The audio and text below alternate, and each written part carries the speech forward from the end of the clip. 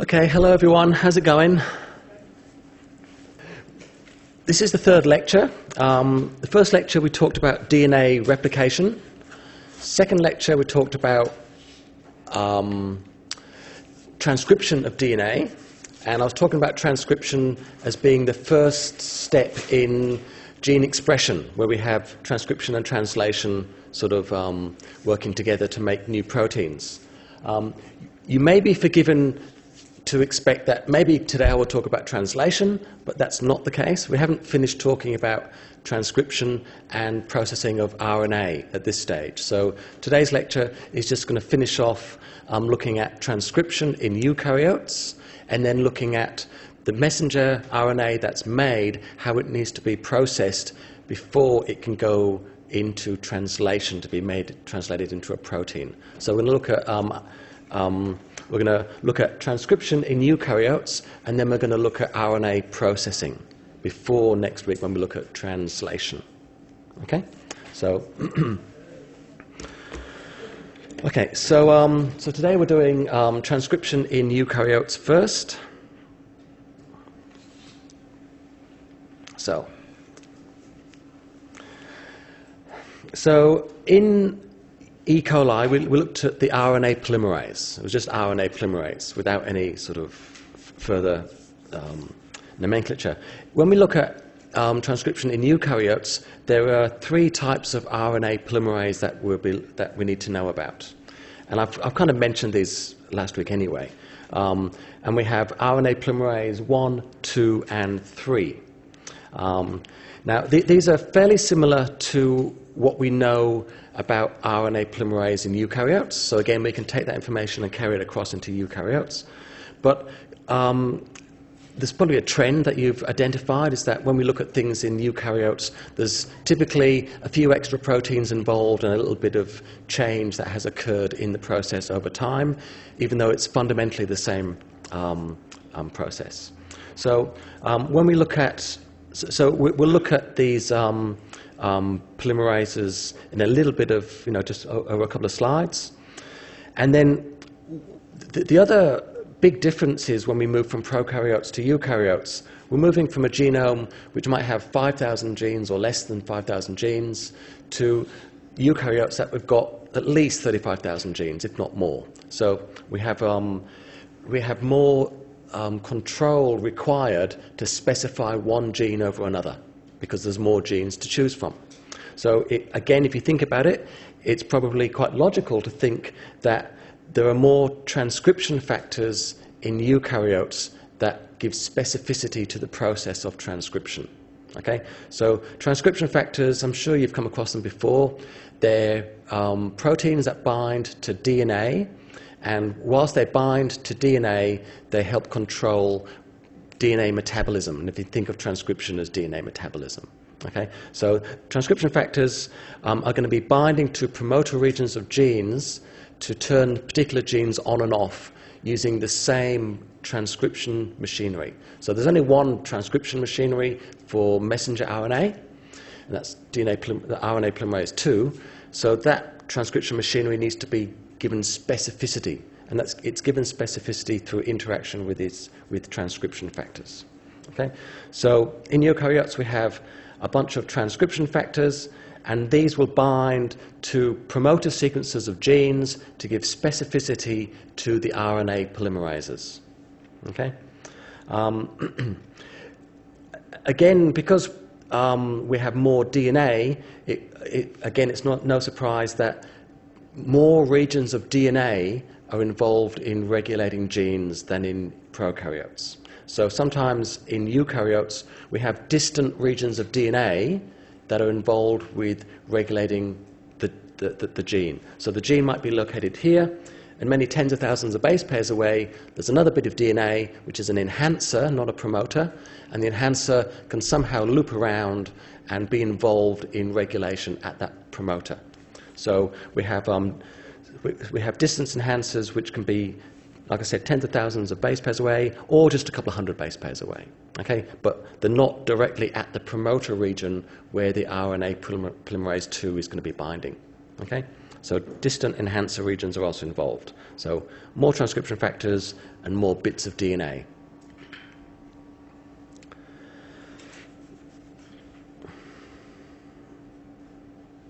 So th- uh, another big difference between prokaryotes and eukaryotes is eukaryotes have a nucleus. So the genome in eukaryotes is wrapped by this membrane, and all the bits in there is referred to as, as, as the nucleus. Whereas in prokaryotes, the DNA doesn't have a distinct nucleus.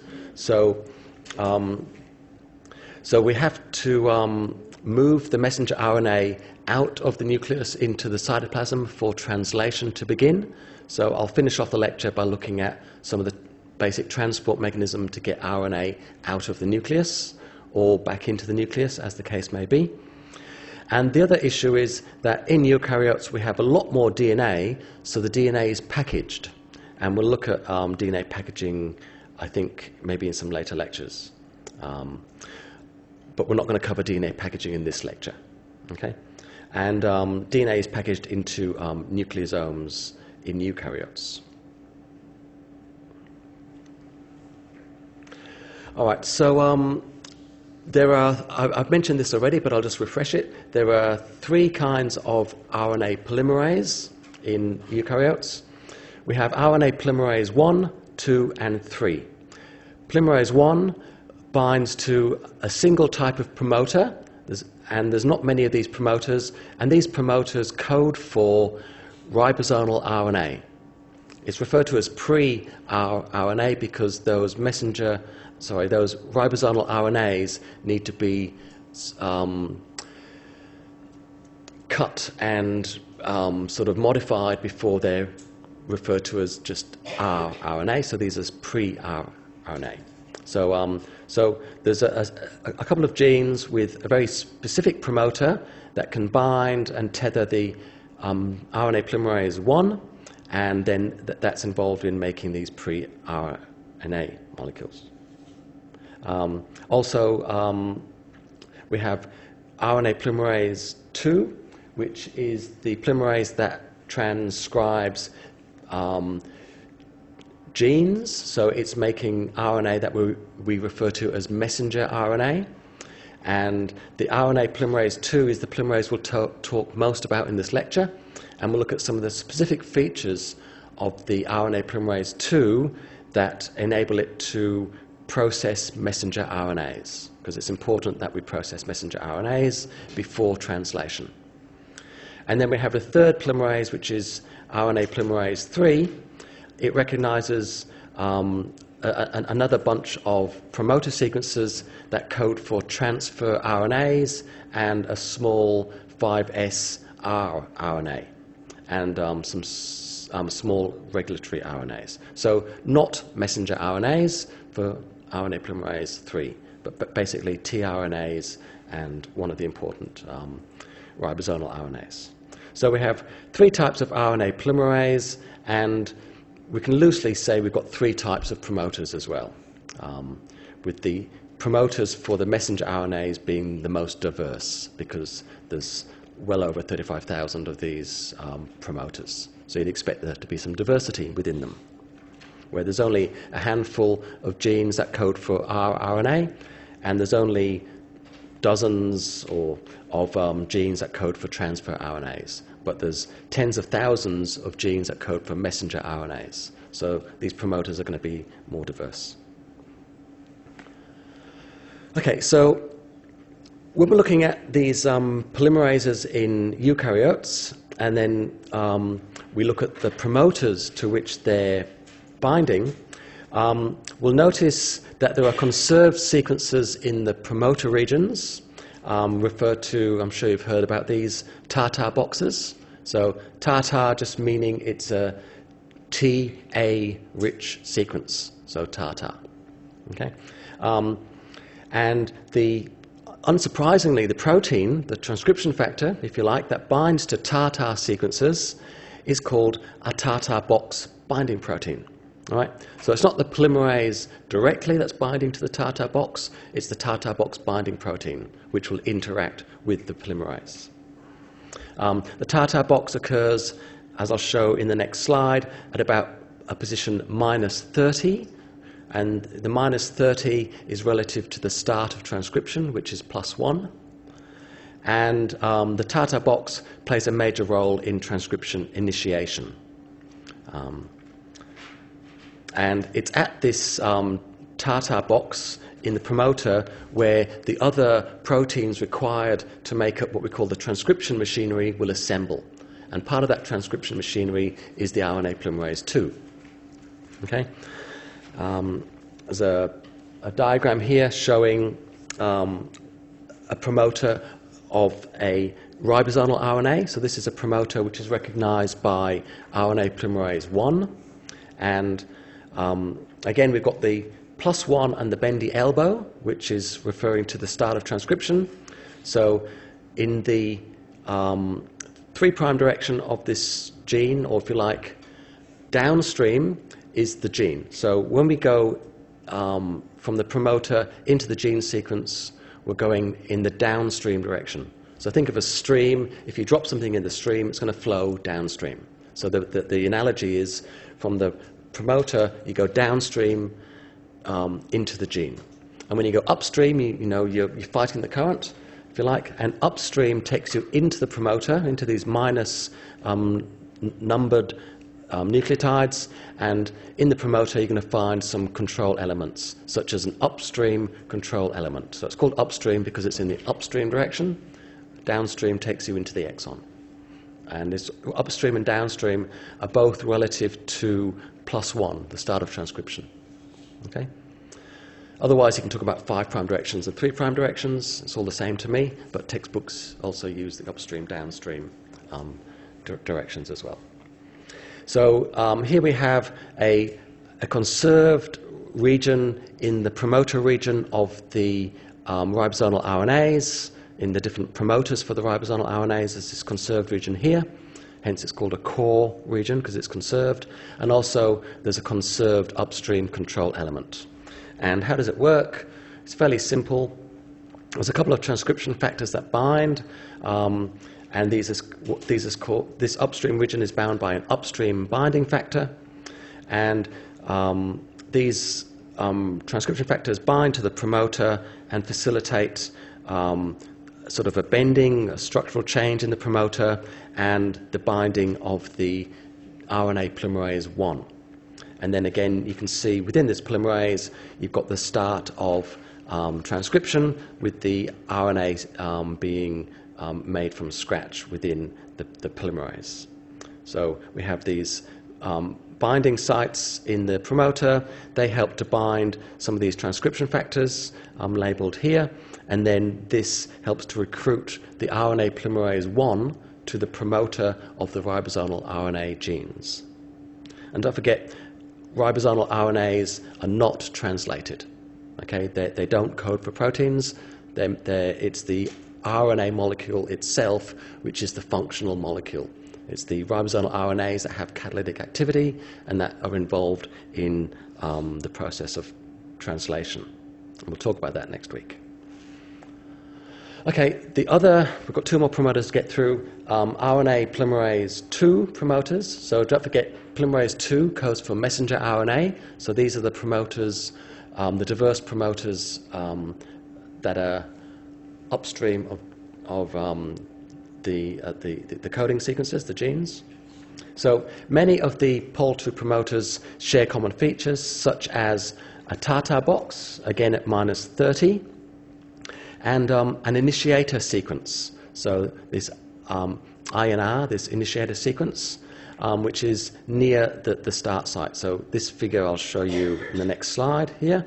So there's the initiator sequence here. And um, sometimes also within these promoter regions, there's an upstream um, recognition site as well. Um, now, a little bit on the nomenclature of transcription factors. It's, it's, it's an easy system, but you've just got to know the system. If, if it's a, when you're looking at the basal transcription machinery, the basic transcription machinery required for gene expression, um, there's a whole bunch of factors. And if we're talking about RNA polymerase 2, then those transcription factors, those TFs, are referred to as TF2 something. So TF2 means it's a tr- transcription factor as part of the basal transcription fac- factors required for RNA polymerase 2. Okay? TF1s would be transcription factor, you know, RNA polymerase 1, and TF3s for polymerase 3. So we have um, an upstream a factor here called TF2B recognition element. So some of the transcription factors required for polymerase 2, there's a whole bunch of them. There's A, B, C, D, E, F, Gs, a whole bunch of them. So we have an upstream element here called TF2B, which is recognized and highly conserved amongst um, these genes. So here's the figure. So this is showing the start of transcription here, the TATA box here with its TATA box binding protein in place, and then we have the TF2B protein bound at the that, that B um, recognition element shown here. And then you've got this initiator sequence here and a downstream promoter sequence here. So it's just showing you that at these messenger RNA promoters, there's a bunch of different sequences that are involved in bringing specificity and assembling the basal transcription machinery to that site. And, and again, here's the start of transcription shown here. So what's not shown um, in this diagram yet is the RNA polymerase 2 itself, which is going to come in and interact with this basal transcription machinery. Okay? Um, the TF2D protein is shown here. It's a, a, a, much larger complex, and then at some point you're going to have the polymerase 2 coming in as well.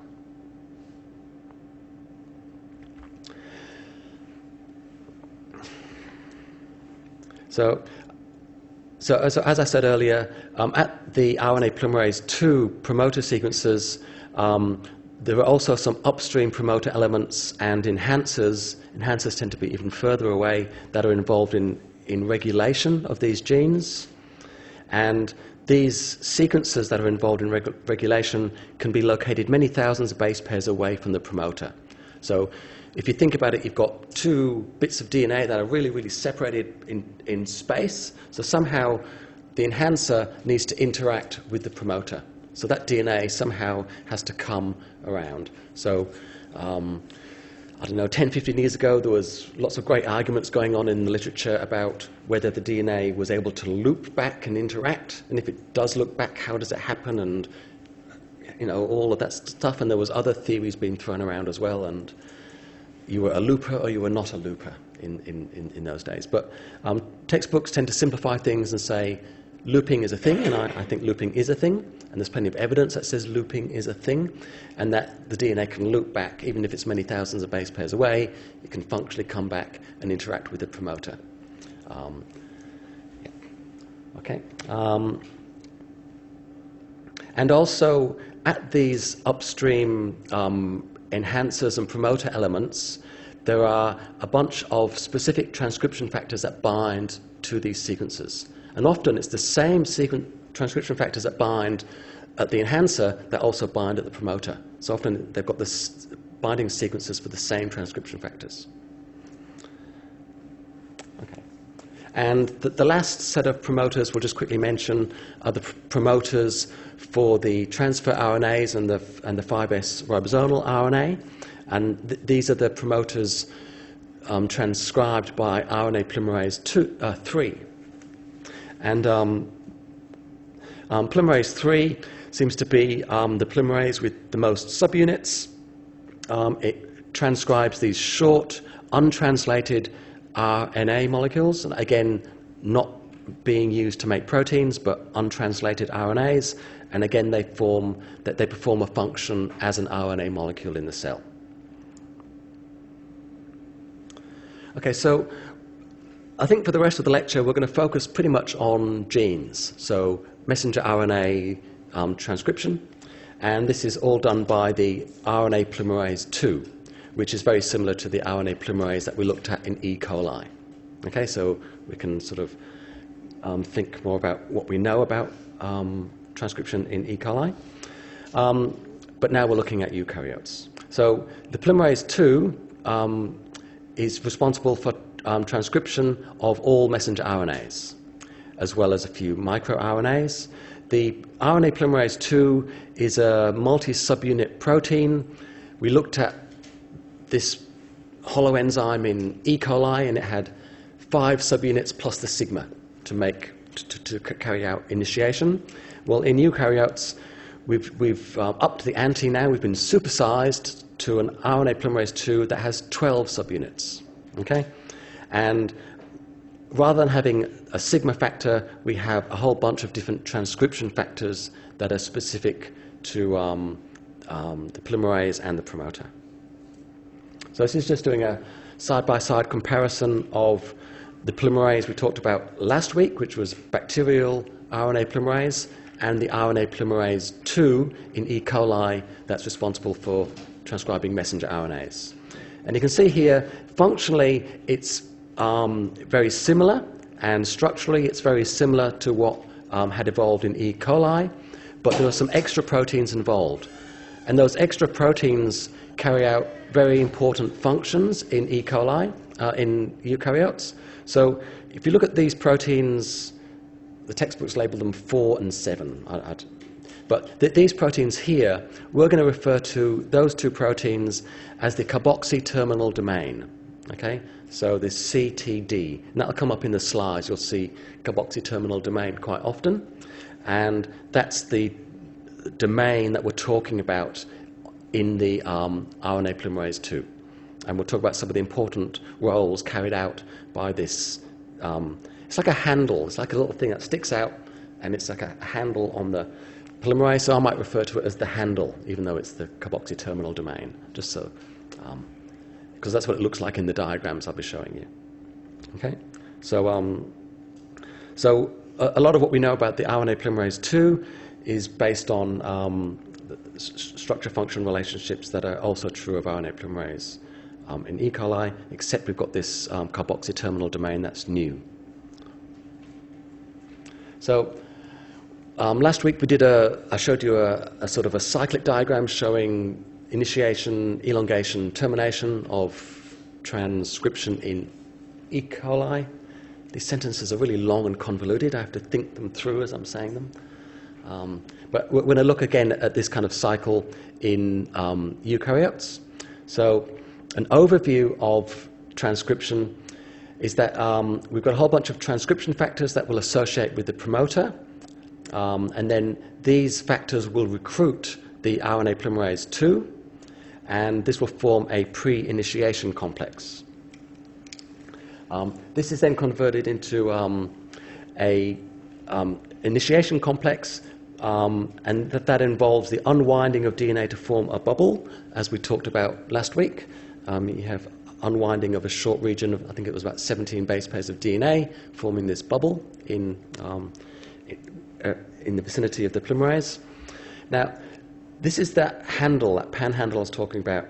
So it's the C um, terminal domain, or the CTD. This is that bit I'll show you in the next diagram um, that's unique in eukaryotes, and it can be phosphorylated during um, initiation. And its phosphorylation status is very important for its function. Um, we then have a process of elongation, where the, you know, where the polymerase just reads through the gene, and then we have a process of um, termination. And initiation and termination, um, this, this CTD, this handle, has an important role in both those processes. So this is the um, cycle of um, one round of transcription shown here. So again, we've got a polymerase with this carboxy terminal domain shown here. We've got the various um, initiator or you know Tata box or various um, conserved sequences or important sequences in the promoter region surrounding the start of transcription.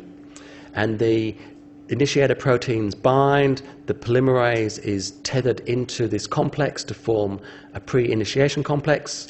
You then get the forming this bubble, and this is, um, and then you get the breaking away of some of these factors here. And if you notice, if you look at this carboxy terminal domain, in the initiation complex, it's not phosphorylated. Okay?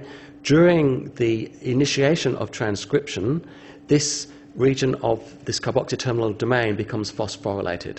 and that allows it to break away and clear the, um, the, this basal transcription machinery and then read into the gene. And then it continues to um, make the, um, the, the, the RNA, and the RNA is made. And as the RNA exits this RNA exit channel, which we had in E. coli, as it exits the channel, notice how it's in close proximity to this carboxy terminal domain. Again, so again, as the messenger RNA is feeding through this channel here, it comes into proximity to this carboxy terminal domain.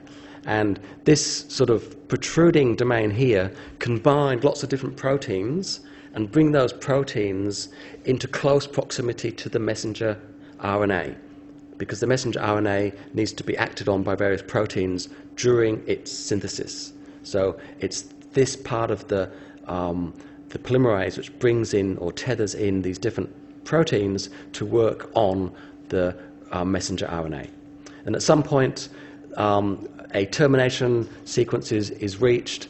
Um, the RNA terminates transcription. The carboxy terminal domain is dephosphorylated and then again we can enter another round of transcription. So um, this is the um, cycle of transcription and the important function of this carboxy terminal domain we'll look at um, in the next, you know, during this lecture. Um, now, don't forget, we're looking at eukaryotes here, so um, I'm sure you know, if not, I'm going to be telling you that this messenger RNA needs to be processed on its 5' and its 3' end, and also this um, messenger RNA contains exons and introns. And the introns need to be removed from the messenger RNA before it's translated. So a lot of that happens um, through interactions with proteins on this carboxy terminal domain. And we'll talk about that during this lecture. Um, I've tried to simplify this and, and, not focus too much on it because there's a lot of factors involved in the um, initiation of transcription. And because we're talking at, because we're talking about RNA polymerase 2, all of the transcription factors, these TFs, are referred to as TF2 something. So we've got TF2B, F, E, H, there's a whole bunch of them.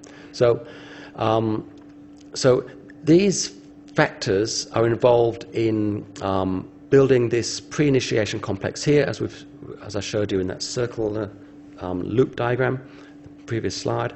And, um, and this is just showing that the order of assembly of these factors has been well studied and it's well documented. We, we don't have to need to know it for this level of lecture, but the actual assembly order of these factors coming into play at the promoter is a well-defined process and it's, it's, um, um, it's well ordered.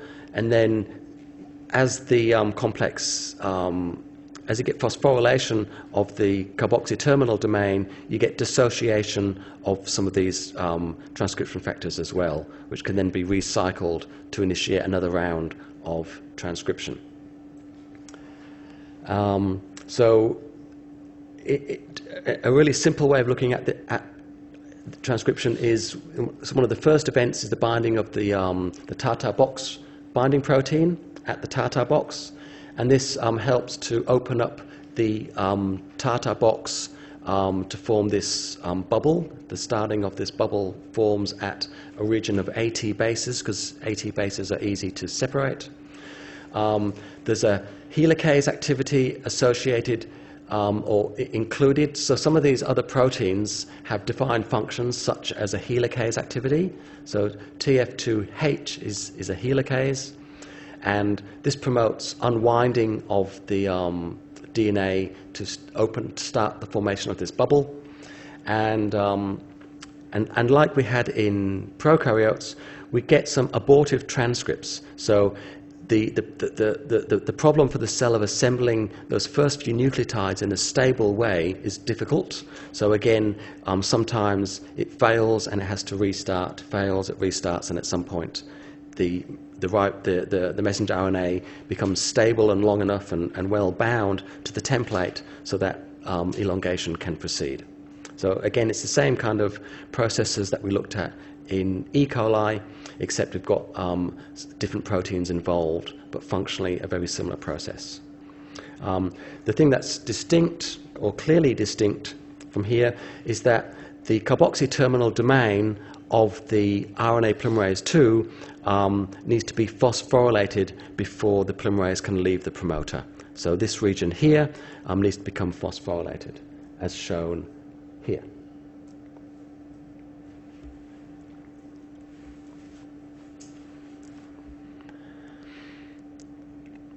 Okay, so in um, eukaryotes, we also, we also have another big protein assembly thing that's involved in transcription and involved in regulating transcription, and this is called the mediator complex. So if you think of a mediator, a mediator, like if you're going through some sort of difficult situation, a mediator is someone who brings parties together and initiates some sort of discussion or transfer of information. I don't know how you want to think about it. So, so these mediator proteins play an important role in um, looping, bringing the DNA into close proximity to the promoter and bringing in various proteins into close proximity. So the mediator complex is again one of these really big protein assemblies um, that helps um, during the initiation of uh, messenger RNA synthesis. So um, it's, it's a large set of evolutionary conserved proteins. That's textbook jargon to tell you that it was studied in yeast. Whenever you see something that's been evolutionary conserved, it means, well, actually it was studied in the, another model organism, and it, and it also is true for um, mammalians. So, so I know that because I, I, I was a yeast geneticist for many years, and we used to study the mediator complex. I used to read about the mediator complex when I was doing that. So hence my um, little in joke there. Um, so we'll have a look at this mediator complex, and it's involved in binding to um, some of these TF2 proteins. And um, here's what it looks like. Um, shown in blue here is a big assembly of these proteins. Um, I think 20 years ago, when you looked at a promoter, you would say it's pea soup. It's just a whole bunch of different things all assembled and floating around, and it just looks unwieldy and we don't understand it. But now, people have studied the mediator, mediator complex in exquisite detail using lots of techniques, and it's, it's a real thing, and it, it's, it's a real, you know, that the proteins are assembled in a very, you know, well-defined way, and people are still trying to grapple with some of the functions and some of the, the roles this thing does. But so this is, this is um, a mediator complex here. Um, so the mediator functions as an intermediary between um, things bound at the um, promoter region and things bound at the enhancer or other upstream sites. So you've got the promoter region here, and then you've got a, a long read of, of DNA going um, upstream from the promoter, and it, it's, it's the interactions between these proteins and the mediator, and then the mediator and the transcription factors that help control transcription. Okay, so it's, it's quite a complex process. Um, so, but if you just think about it as a whole bunch of proteins that facilitate interactions between the enhancers and the promoters, that's probably enough.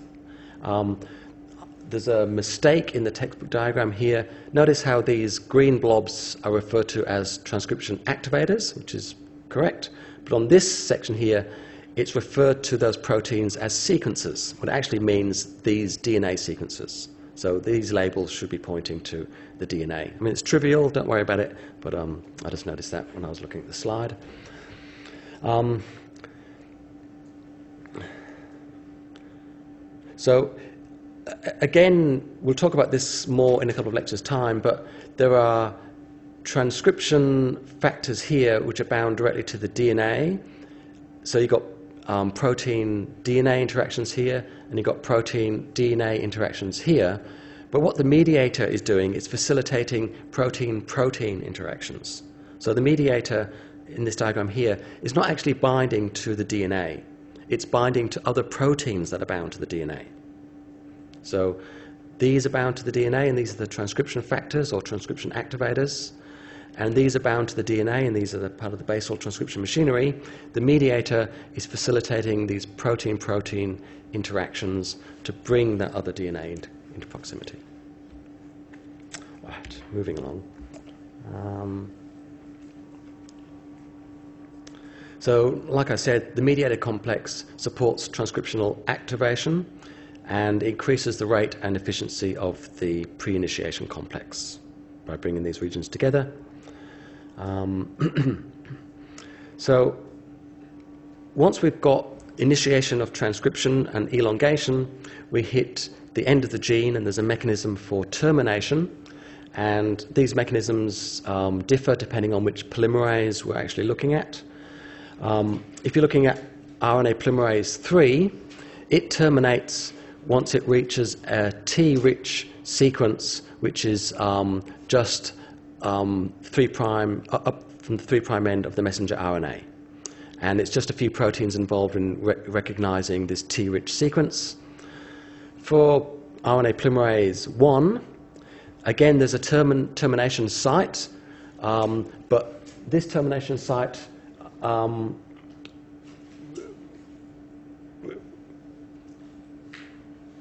again, is just located downstream and requires um, a bunch of specific factors.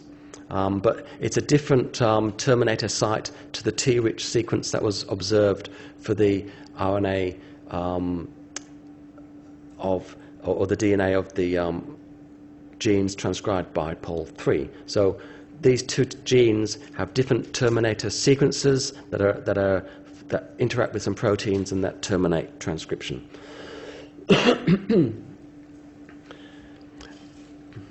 so, as I was saying, we've got over 35,000 genes in, in our genome, so it's probably of no surprise that the termination sequences are more diverse for messenger RNAs.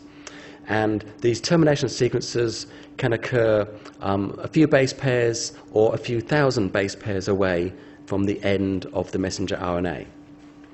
And part, a, a common theme for these um, termination sequences is that they include sequences that will lead to the formation of a poly A tail on the messenger RNA. And, um, and um, termination of transcription is coupled to the um, polyadenylation of the messenger RNA. So, um, so we've got termination sequences that can be just downstream or many thousands of base pairs downstream from the end of the messenger RNA sequence.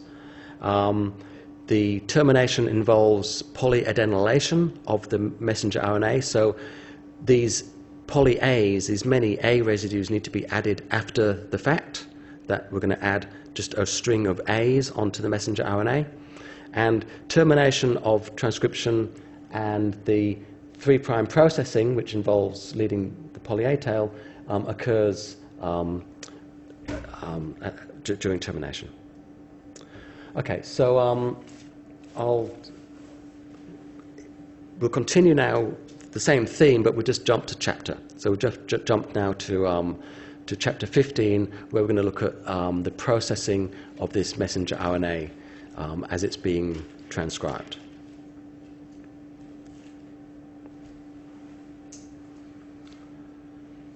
So, RNA molecules are synthesized in a form that needs to be processed before it becomes a functionally active molecule. And we'll look at how our messenger RNAs are processed. Um, the, the kinds of reactions involved in processing messenger RNAs um, is just a small subset of reactions. Um, typically, it, it, involves cleavage, cutting the RNA molecule. It needs to be cleaved and then rejoined at a different point. And if you think about um, exons and introns, you've got to cut out the introns and join together the exons. So that's what it's talking about here. Typically, you've got to cleave the, um, the messenger RNA and then rejoin it to another bit of the message and remove the intervening sequences. And often, particularly for transfer RNAs, um, many of the, the, the, nucleotides can be modified after the RNA has been made. So between making the RNA or the transfer RNA and its function, some of the, nucle- some of the bases need to be chemically modified. And um, we'll look at that process when we, when we talk about transfer RNAs.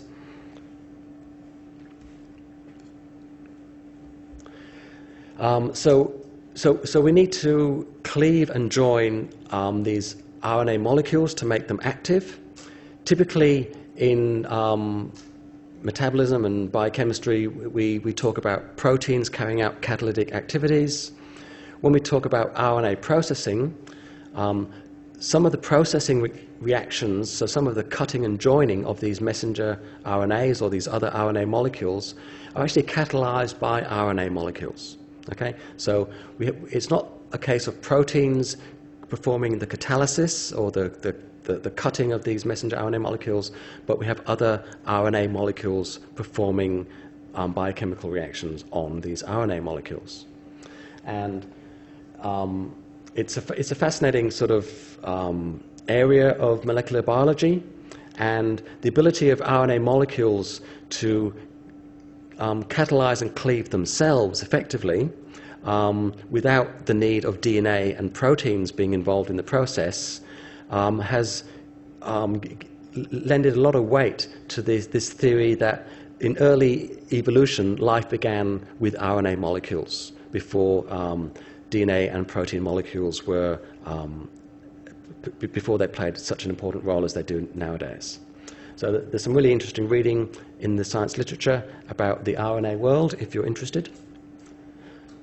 And there's, there's um, an academic at the, I'm not sure if he's at the Garvan or the Victor Chang. I think he's at the Garvan. So John Mattick, um, he does a lot of study with messenger RNA, with RNAs, and he talks a lot about the RNA world. So you often see him at conferences when you travel out of the uni into your science fields and domains and he gives really great talks about um, all, all of the. He, he does a big summary of all of the background information that's forming this, this view. So it's actually quite interesting. All right. Um, so we're going to do a comparison of RNA processing now in bacteria and then switch to eukaryotes because it's a simpler system in bacteria and it helps us to understand what's happening in eukaryotes. So most bacterial messenger RNAs um, are, not, are not processed and sometimes the messenger RNAs in E. coli or in prokaryotes can actually be translated whilst they're being transcribed. So we, we say that transcription and translation are coupled in, in, in um, bacteria. So this is sort of a, an overview of what we're going to be talking about, about next week, which is translation, shown here, and um, transcription. So here's our RNA polymerase shown in an E. coli without its carboxy terminal domain, so it's clearly then RNA polymerase from E. coli. It's transcribing a uh, an RNA molecule here. And as it's leaving the exit channel and as it's sort of being actively synthesized on its 3' end, it's being translated from its 5' end. So the, um, the ribosomes are attaching to this um, message and starting to make these orange blobs here, which is a lot of amino acids strung together to make a protein. So in E. coli, it's a simpler system because there is no nucleus, so there is no mem- membrane separating transcription from translation. Where in eukaryotes, we have transcription occurring in the nucleus and translation occurring in the cytosol. Okay? So this is a, um, a, so functionally this process occurs in eukaryotes, but it's separated by a, um, a membrane. So um, it's separated in space and time, if you want to use the Doctor Who analogy. Okay? Transcription occurs first, and then, well, it, it is. It, it's not just like uh, when I was waving my mouse here, I thought maybe you were thinking it, it, passes through the membrane and then gets translated in eukaryotes. So it's actually space and time. It's what the textbook says. And I like Doctor Who. I don't watch it, but I used to like it when I was a kid. So, so it's so transcription occurs in the nucleus, and then the messenger RNA is is processed, and then once it's finished being processed, it's physically moved out of the nucleus into the cytosol. And then once it's in the cytosol, it's then translated. And I've got that in a diagram coming up, following this slide. So when we look at this simple process here in eukaryotes, um, the messenger RNAs need to be um, chemically modified, so those cleavage and ligation reactions, and also the 5' and 3' ends need to be modified. So um, RNAs also need to be transported into the cytoplasm for translation. And if you think about the messenger RNA, it's got two ends. It's got a 5' end and a 3' end. We say that the 5' end is capped, so we have a 5' cap. And we say that the 3' end is, is, where it's the A residues are added, so it becomes polyadenylated. So we, we, say, we say that it's got a tail, so it's capped and tailed. So capped on the 5 prime, tailed on the 3 prime ends. So this is just showing the process of transcription and translation or gene expression in eukaryotes. So within the, the nucleus here, we've got the process of transcription and the messenger RNA contains introns and then um, it needs to be processed. So after the RNA processing has taken place, we've got the removal of the introns, and we've got a 5' cap, 3' tail. This then has to exit the nucleus into the cytosol where it can then be translated by these ribosomes. Okay? And then following translation and, and protein production, you get degradation of the messenger RNA. So the rest of this lecture, we're going to be talking about um, the, um, just, just the processing of the messenger RNA that occurs in, in the nucleus. And then we'll, we'll mention a little bit about the um, degradation of the messenger RNA.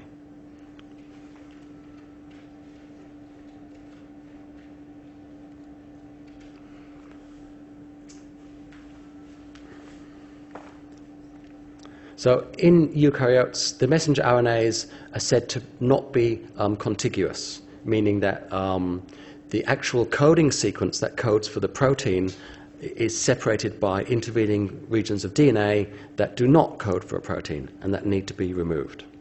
So the coding sequences are called exons, the non coding sequences are called introns, and the process of removing introns and joining together the exons, that's called splicing.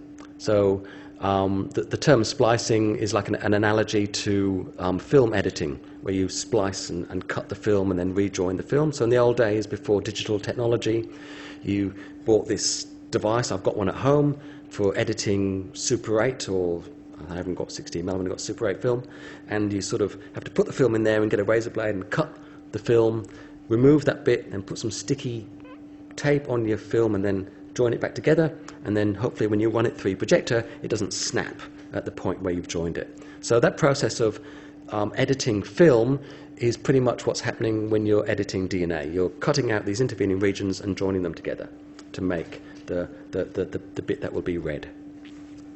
So, um, so the process of splicing um, introns um, Oh, so in the process of splicing, the introns are removed from the primary transcript and then the remaining bits are joined together. And this forms a continuous sequence then without any intervening sequences, and it's the spliced messenger RNA that actually codes for the protein.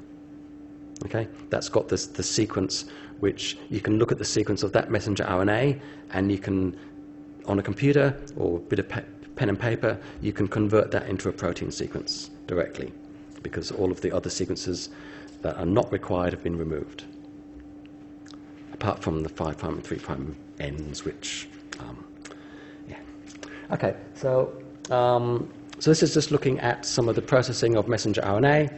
So this is our DNA sequence here. We've got our promoter, and there's our bendy elbow, a bendy arrow, again, indicating start of transcription.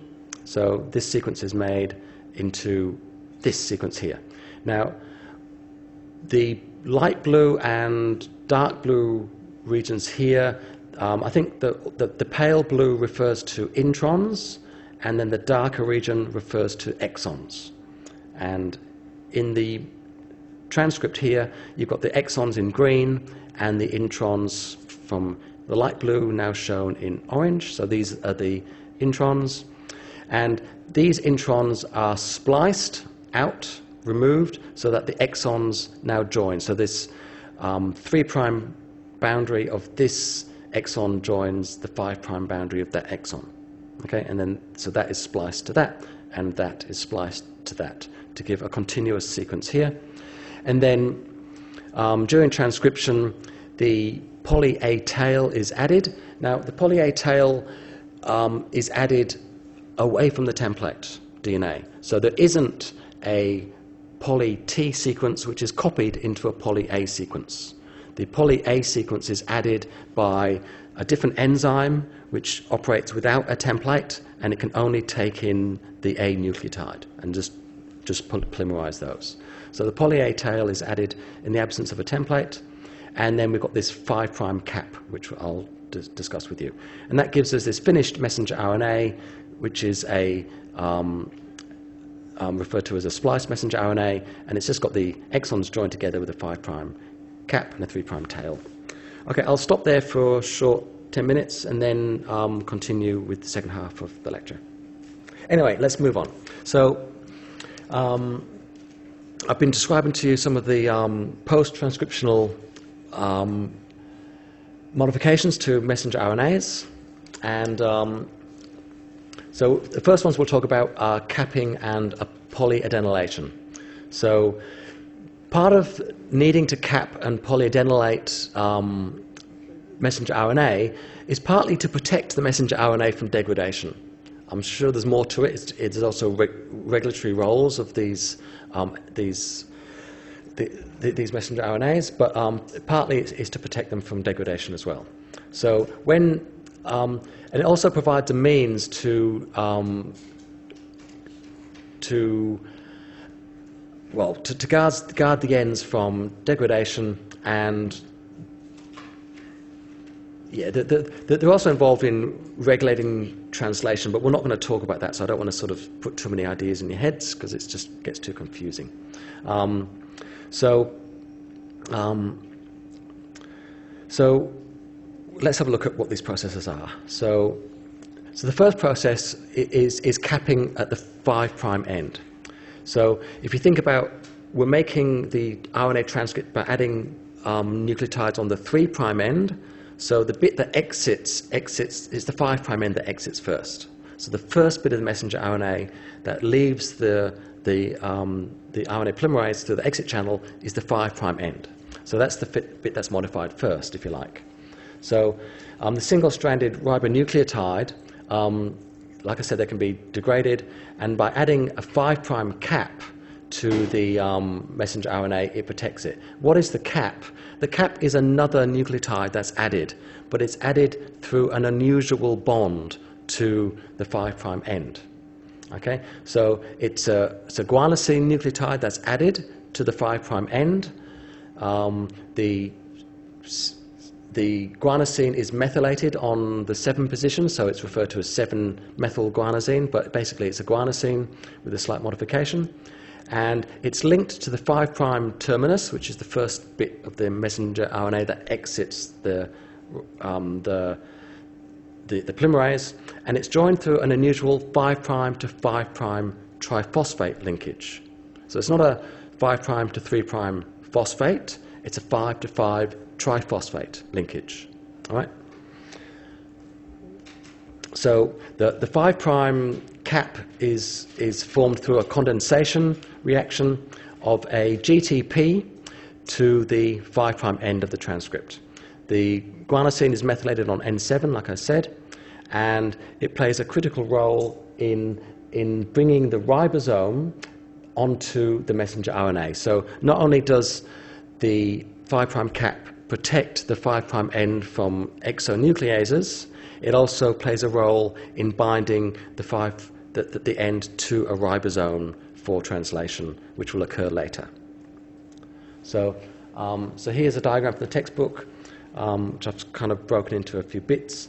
So here's the incoming nucleotide that's going to act as the cap, and um, here's the N7, which will be methylated. So this is a bog standard um, nucleotide. So you, you, should understand what that is. Um, here's the, um, the messenger RNA that's been made. Um, so here's the, um, yeah, so, so, the first nucleotide that was included in the string of um, the message is here.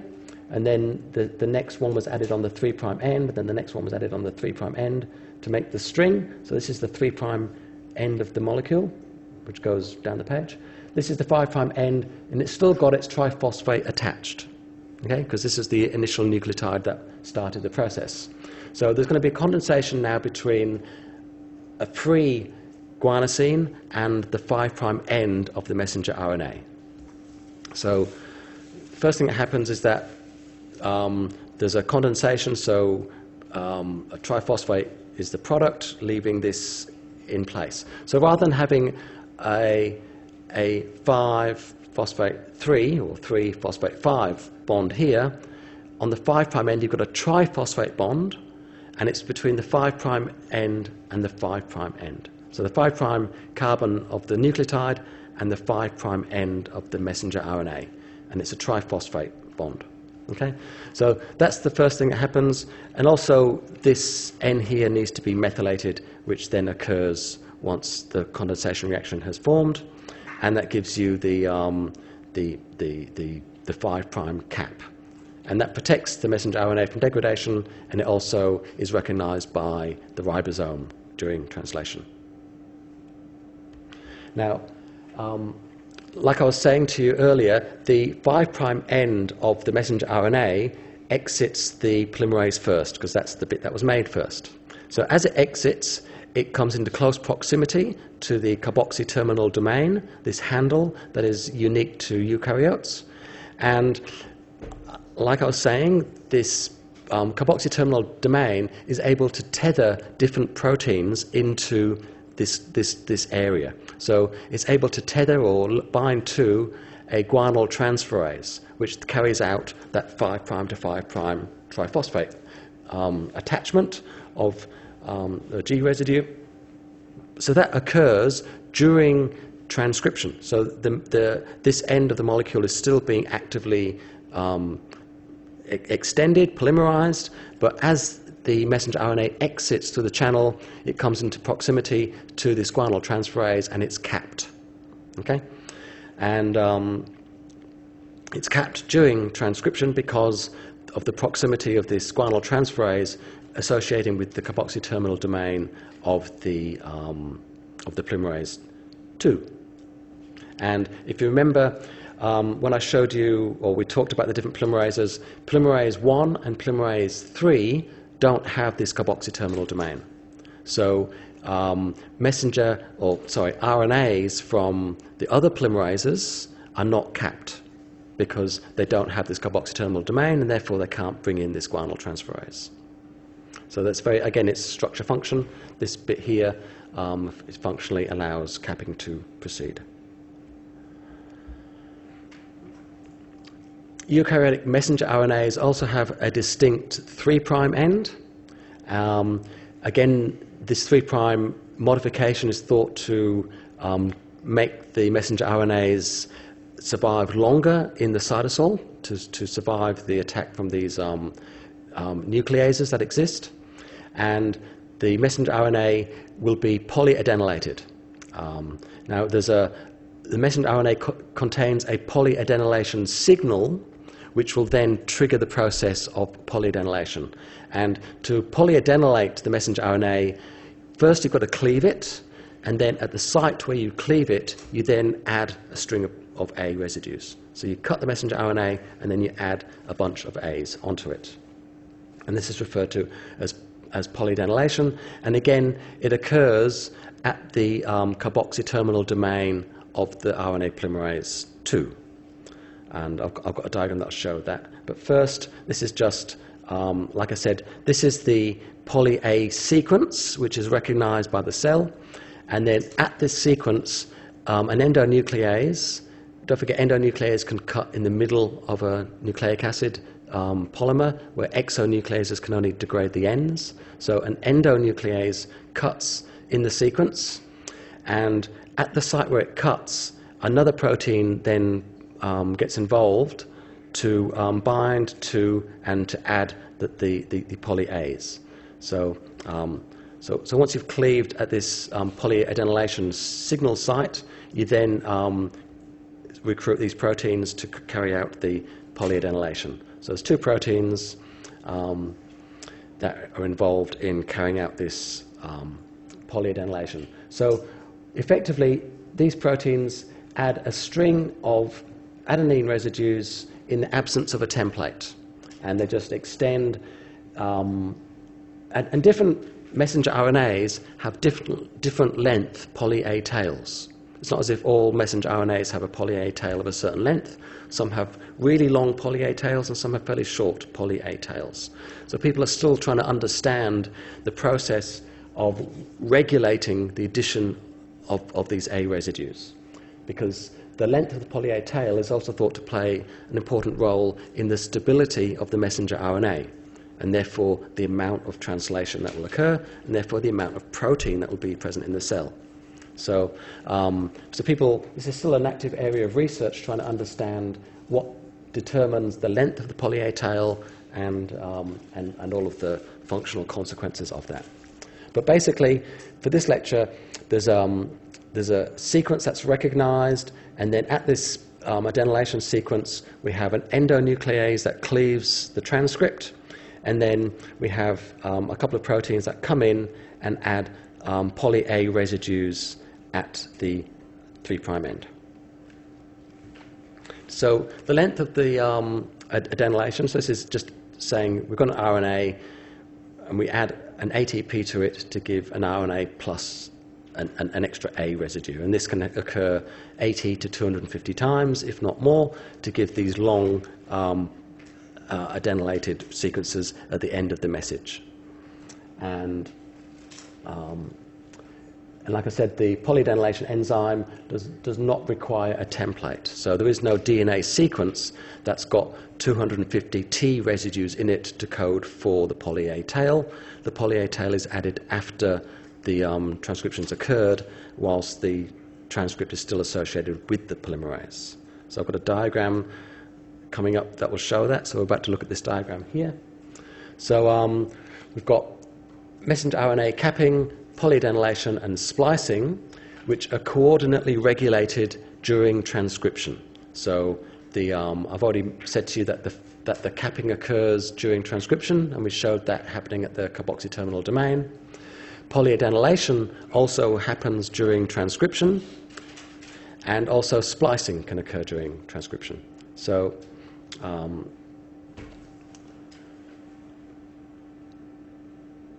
so so effectively, um, RNA processing occurs as the messenger RNA emerges from the RNA polymerase II. So this is the little diagram that shows that.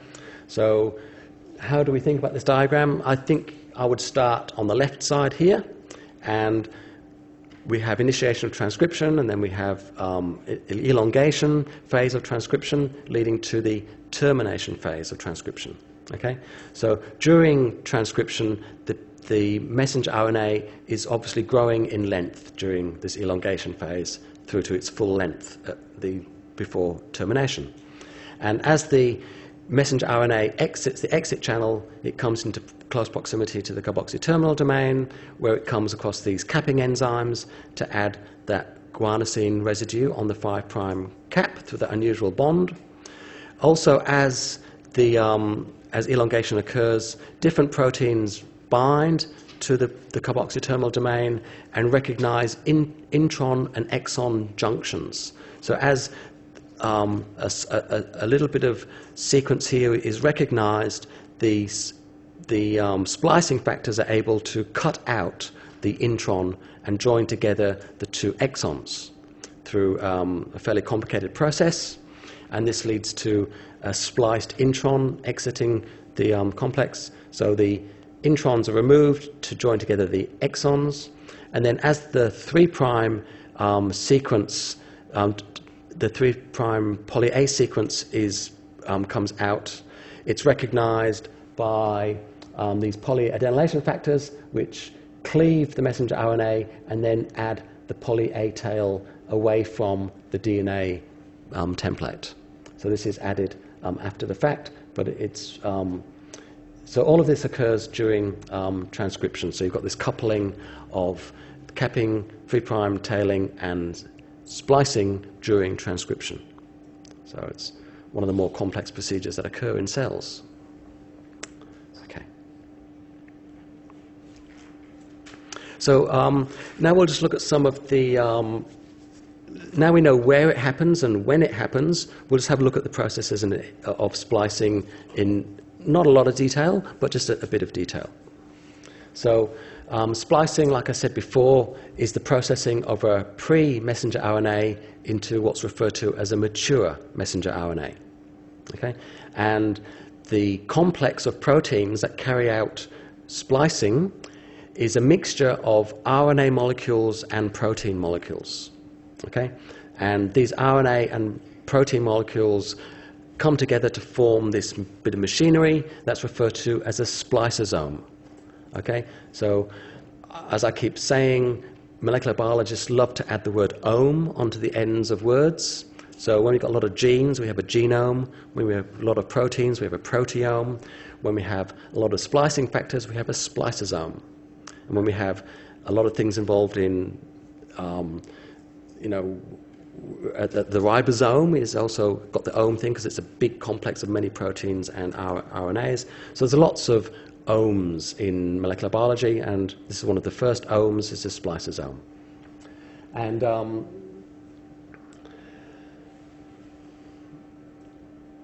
okay, so uh, what I'm telling you here is that the spliceosome is made up of a whole bunch of RNA molecules and protein molecules.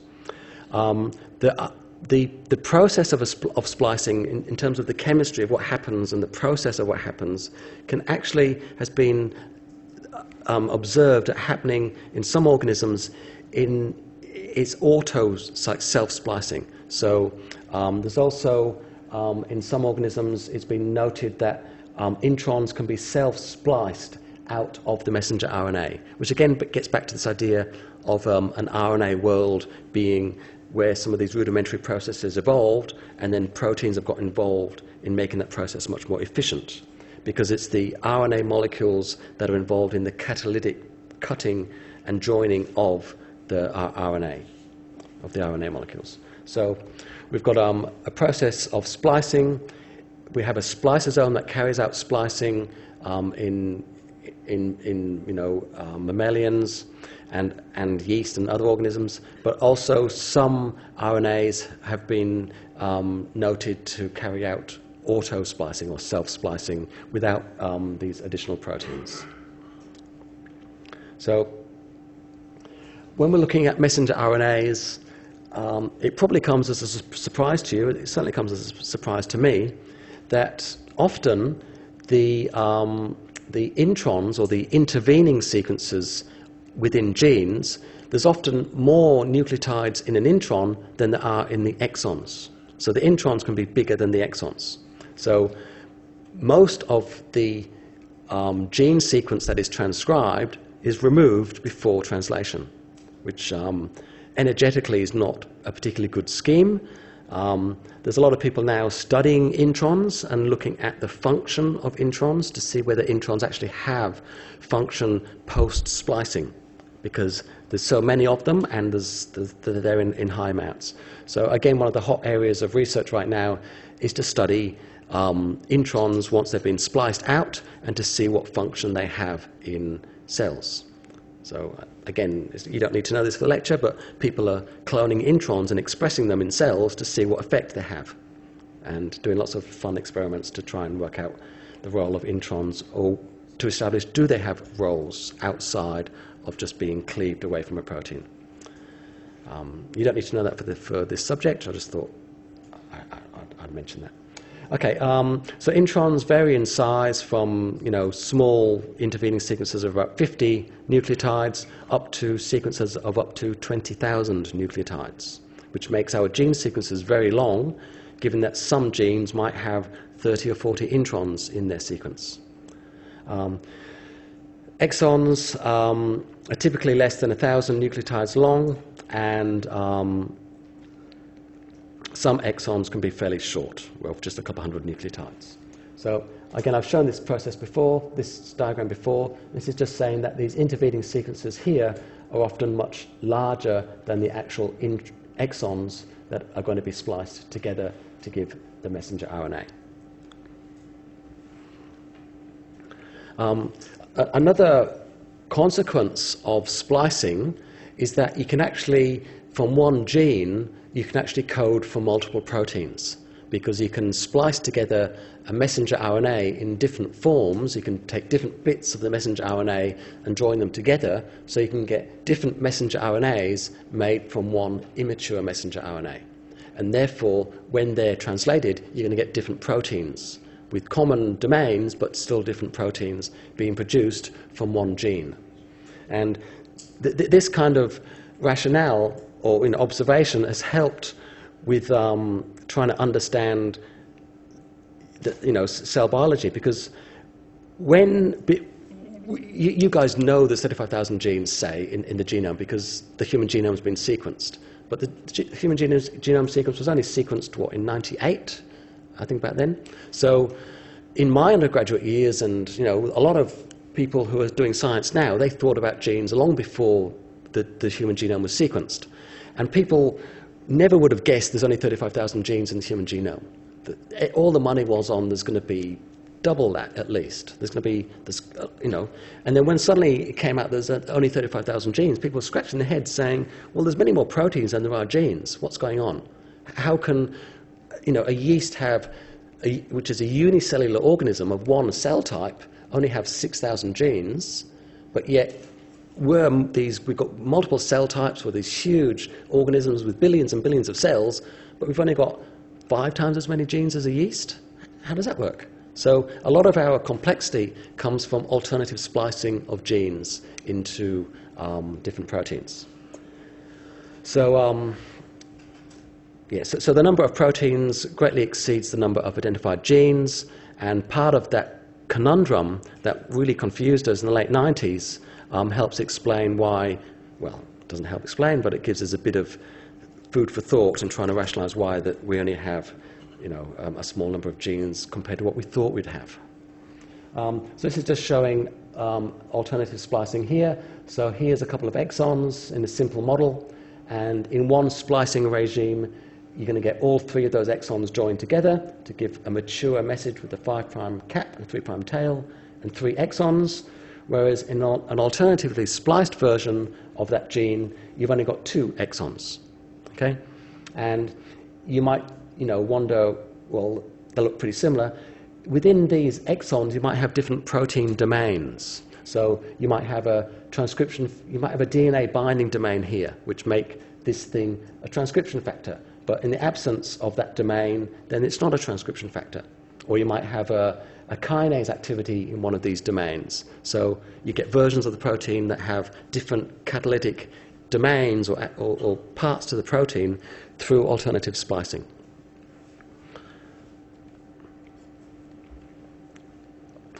So um, the mechanisms of alternative splicing are not well understood, um, and I think you could rewrite that sentence to say, well, the mechanism of just normal splicing is still being researched, and we're still learning more and more about splicing as we go on. So, um, splicing is a very complex procedure. It's difficult to study. I, I, spent five years in a, in a lab, and a third of the lab were, were, were looking at splicing and these, the process and trying to study it. And there were each lab meeting, there'd be little tidbits of information emerging from their research, and you know, so people are, are, trying to understand splicing. A lot is known about splicing, but it's um, still a lot more to be known about splicing, which is true for any area of, of, of, of molecular biology. You know, you've got the textbook version of things, which make it sound like it's really clear cut and well studied, and no more questions to be asked. But when you get into the literature, you go, ooh, there's lots and lots of questions around all areas of, of biology. So, um, so nucleotide sequences at the borders between an intron and an exon play an important role in recognizing the fact that um, he's the end of an exon and he's the beginning of an intron. Okay, so that's important. Um, and some complex transcripts have um, alternative sites that can be um, cleaved for these polyadenylation sequences as well. So if you've got alternative splicing, you still need to cap your messenger RNA. So within the, the gene, there's alternative regions which will encode for um, these, these polyadenylation as well. And the, the textbook has um, a simple example of alternative splicing, and it's of a protein called um, calcitonin, which can also be um, alternatively spliced into another protein. And um, there's a diagram here to show that. So um, there was a gene which had been transcribed, and then there was a primary transcript made, and this primary transcript has a bunch of introns. It's got six, uh, sorry, a bunch of exons. So it shows six of those exons here, and um, one splicing pattern here joins together four of those introns, one, two, three, and four. Then this occurs in, say, the thyroid um, tissue. Whereas the same gene um, in a cell which is now part of the brain, which has the same gene, genome as the, as the thyroid cell, but within the brain cell, it's cleaved differently because different proteins are expressed, different cleavage proteins are expressed, and therefore you get alternative splicing to produce a different um, um, messenger RNA which will code for a, a protein with a different activity, different regula- regulatory mechanism, different, you know, different attributes. So alternative splicing and alternative polyadenylation um, can give rise to these two different um, transcripts giving two different hormones. And um, in the thyroid, we have a, a calcium regulating hormone, calcitonin, and in the brain, we get a calcitonin related gene product, inventively named. So, we get two different um, proteins from one um, gene through alternative splicing. So, again, in the different um, tissue, whether it be thyroid or brain, you get rise to these two distinct proteins which carry out different functions in the cell. So, how does splicing occur? Um, I, I, mentioned well, let me read the slide first before I talk. So, so splicing is catalyzed by this thing called a spliceosome. And part of the spliceosome, it's made up of individual proteins. There's a whole bunch of different proteins that come together to make this big spliceosome. So those things that come together to make the spliceosome are actually ribonucleoproteins, not just proteins. So again, a ribonucleoprotein is just a complex of RNA and protein to make a functional enzyme. And in a riboprotein, ribonucleoprotein, typically it's the ribosome component that carries out the catalytic activity. And that's true for um, splicing. The um, recognition of the um, messenger RNA sequence and the catalytic cutting of the messenger RNA sequence is carried out by the RNA sequence within these ribonucleoproteins. Um, so effectively, the RNA of these ribonucleoproteins um, base pairs with the messenger RNA, and it base pairs with the, the 5' splice site and the 3' splice site. So what that means is, if you look at this sequence at the top here, you've got the messenger RNA sequence here, you've got exon, intron, exon. So we read DNA from the 5' to the 3' direction, so within this intron here, you've got the 5' junction, and then you've got the 3' junction of this intron. So you've got the 5' splice site, which just means it's the 5' end of the intron, and the 3' splice site, which is the 3' end of the junction.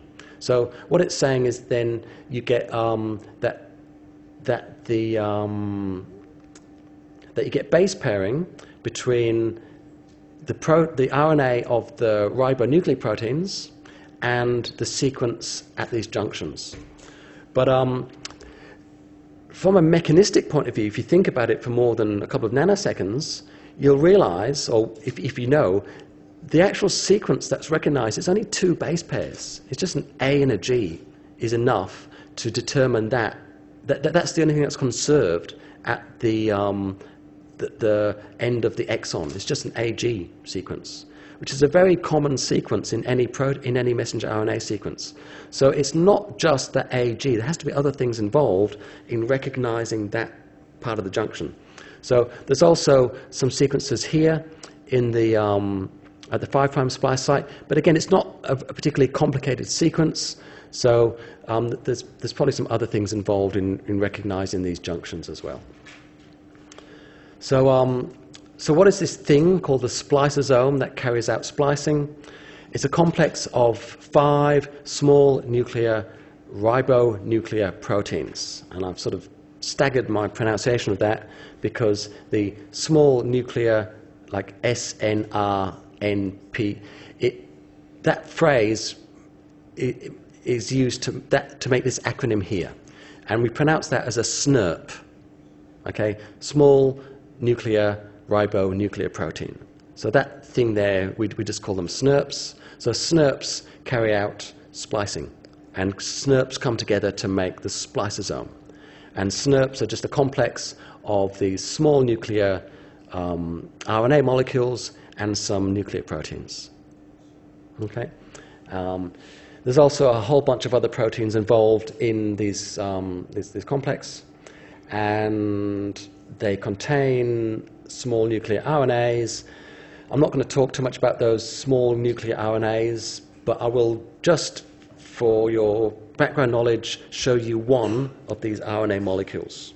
And, and um, so you can have a bit of a think about them. So these RNAs are referred to as U1, U2, U, you know, they've got U something is the name of these um, small um, nuclear RNAs. So here's one shown here, and it's a single-stranded piece of um, RNA, and it folds up into a particular tertiary structure based on complementary base pairing within the single-stranded molecule. Okay, so um, it looks a little bit like a transfer RNA. I don't know if you're familiar with transfer RNAs. We'll look at transfer RNAs when we look at translation.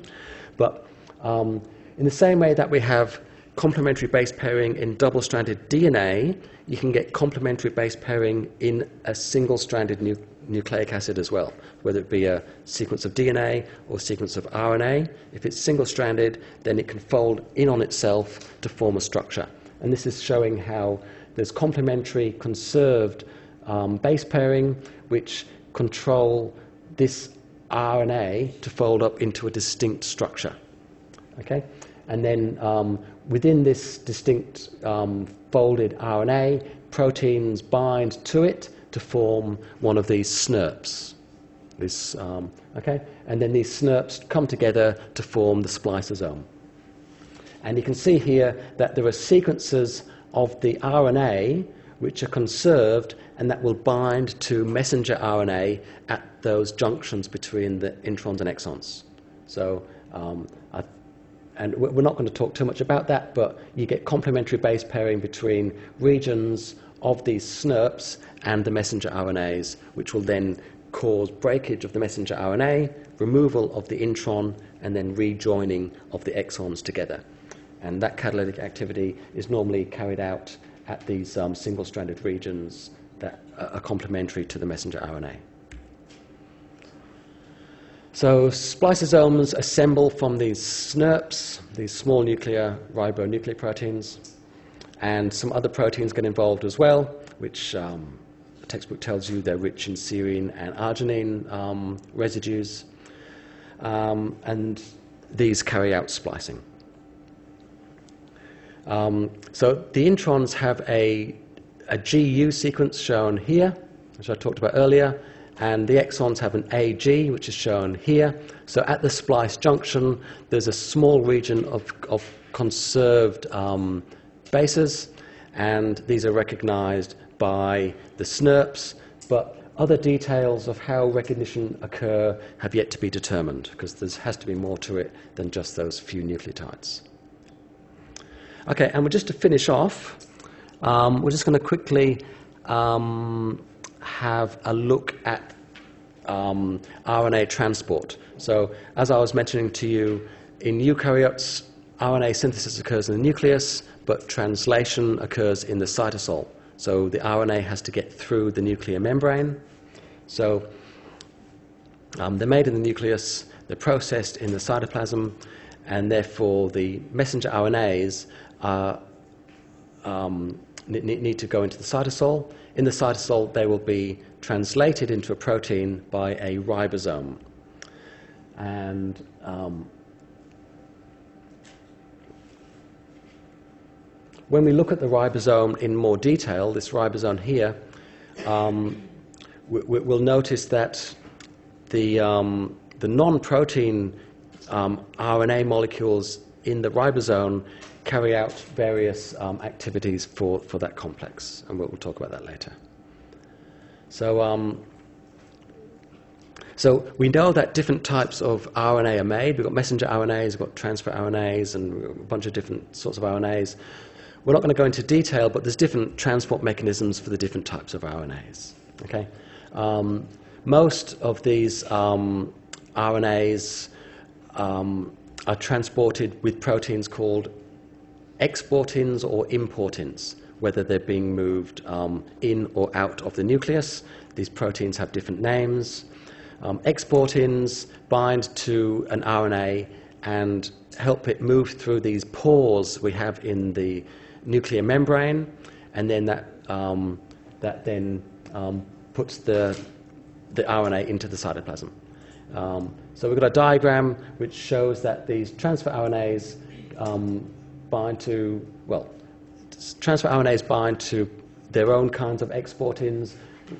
rRNAs um, are exported in their um, pre-ribosomal, um, exported with, with other proteins. So there's different systems for different RNAs without getting into too much of the detail.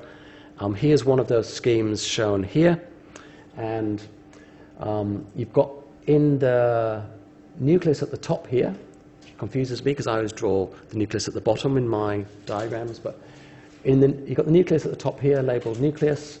So you've got the, the RNA molecule that's just been synthesized, and it has to interact with one of these exportin proteins, which will guide it through one of these pores in the nuclear membrane to get it into the cytosol. Okay? And then once it's in the cytosol, it dissociates to do whatever role it does in the cytosol. Some RNAs um, once you know, need, need, to be taken into the nucleus, depending on the function of these things. So again, it associates with these same kind of proteins, which take it into the nucleus. So you've got like a, a cycle of protein movement in and out of the nucleus, and the proteins can carry around these, um, these, these RNA molecules with them. Again, it's too much detail to go into, but this transport protein is associated with a nucleotide. And whether it's associated with a GTP or a GDP molecule um, helps control the function of whether it's moving in or out of the nucleus. So you've got a protein that's binding to a nucleotide, and then it's, um, the, the nucleotide helps determine the structure of that protein so it can move in and out of the nucleus. Um, Again, technically, you'd refer to these proteins as um, um, GTPases or GTP hydrolyzing proteins. So, because they can hydrolyze GTP, they can modify that GTP into GDP. So, um, the protein is able to hydrolyze that, that um, molecule, which helps control this circular process and movement of the messenger RNA. Um, all right. And just to finish off, um, two slides to say that um, we know that the messenger RNAs are going to be translated. We know that's a regulated process. Um, part of that regulation of translation revolves around the stability of the messenger RNA. So, um, messenger RNAs are synthesized and degraded in a fairly brisk manner within the cell. So we have a balance between synthesis and degradation, which lead to the actual levels of these messenger RNAs in, in the cell. Um, degradation is catalyzed by um, nucleases, referred to as ribonucleases, because they're de- degrading um, ribosomal, you know, um, nucleic acids that contain ribonucleotides. Okay, so it's a ribonuclease. Um, and these degradation involves complete hydrolysis of the um, RNA into individual nucleotides, which can then be recycled into new messenger RNAs. So degradation rates vary greatly for different messenger RNAs. Um, in, in eukaryotes, there's a complex of these um, nucleases that come together to make a bigger machine that is involved in degradation, and that's called an exosome. So again, um, it's these exonucleases that come together, and when you join a lot of things together, we add the word ome on the end. So we have these exonucleases, a whole bunch of them called an exosome. And they degrade um, messenger RNAs, and they degrade messenger RNAs from the 3' end. And don't forget, the 3' end has got the poly A tail, so the length of the poly A tail um, is involved in protecting the messenger RNA from degradation by these um, exosome. So this is just the last slide to, to show here's our messenger RNA, here's the 5' capped end, here's the 3' end that was polyadenylated, and this very large complex of these different exonucleases degrades the messenger RNA from the 3' end into, it'll degrade the entire molecule and just leave behind the individual nucleotides, which can then be used to make another messenger RNA on demand. So it's. Um, all right, so um, thank you for your attention. Um, any questions, come have a chat, and I'll see you next week. Okay, thanks.